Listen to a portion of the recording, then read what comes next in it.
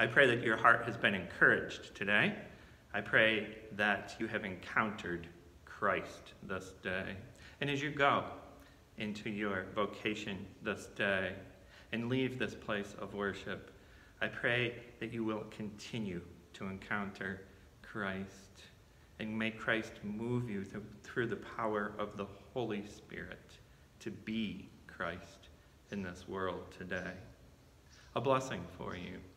Neither death, nor life, nor angels, nor rulers, nor things present, nor things to come, nor powers, nor height, nor depth, nor anything else in all of this creation will be able to separate us from the love of God in Christ Jesus.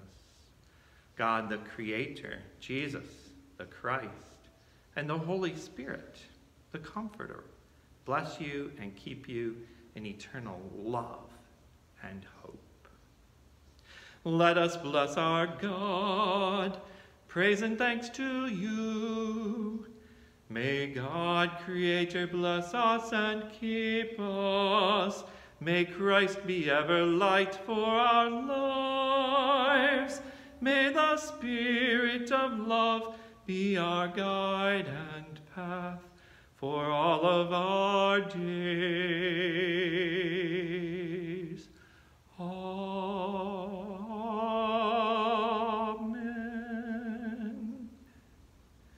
Go in peace. Christ is with you. Thanks be to God.